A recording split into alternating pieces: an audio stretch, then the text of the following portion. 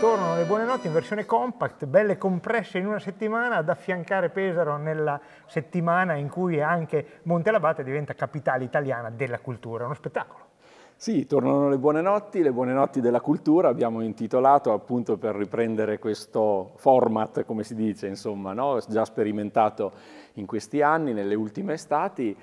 è una settimana piena, piena, di eventi e tra questi eventi di varia natura, di vario genere, con varie proposte, non poteva mancare Farneto.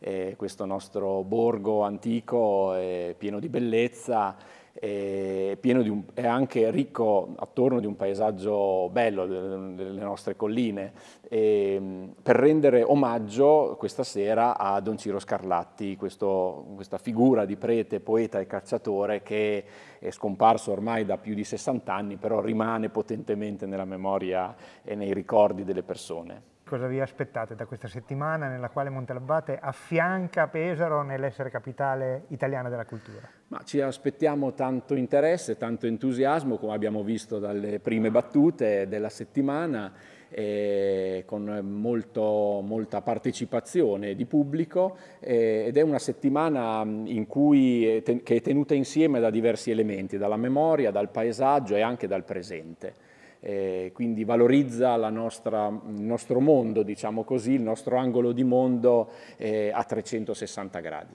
La settimana della cultura di Montelabate si chiamano Le buone notti della cultura. Eh, questo vuole essere una prosecuzione di un progetto che va avanti da ormai dieci anni, delle fantomatiche buone notti che hanno popolato il territorio eh, negli ultimi anni e che hanno fatto scoprire il territorio di Montelabate. Quello che abbiamo voluto fare con la settimana della cultura è stato proprio quello di riproporre eh, in sette giornate, in sette giorni durante questa settimana, eh, proprio eh, le buone notti con lo spirito dell'inizio. Quindi saranno degli appuntamenti prevalentemente serali, tranne che per alcuni, alcuni eventi, e si svolgeranno tutte le sere dalle 21 in poi, eh, saremo nei Peschetti, saremo in collina, saremo nei borghi storici come, come, Farneto questa sera. E poi finiremo anche in luoghi della memoria come la linea gotica dove vedremo dei film, ascolteremo dei concerti all'alba e tanto altro insomma.